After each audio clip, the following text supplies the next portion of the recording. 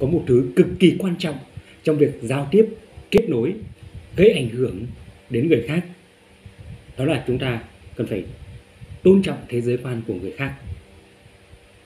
Tôn trọng thế giới quan ở đây có nghĩa là gì? Chúng ta tôn trọng cái văn hóa của họ tín ngưỡng tôn giáo hành vi đối ứng xử của họ.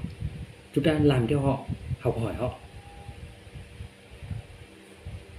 Ở trong một cái ờ, uh, lần mà Obama đến thăm vợ chồng quan chức Nhật Bản.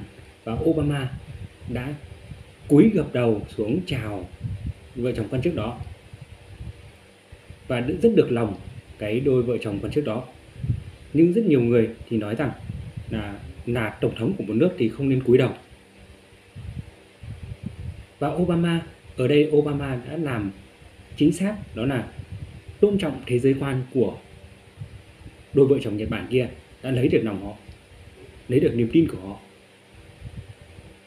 Đã làm theo những hành vi ứng xử văn hóa của nước họ. Và từ đó, cái việc kết nối với ảnh hưởng của Obama đối với họ nó trở nên dễ dàng hơn.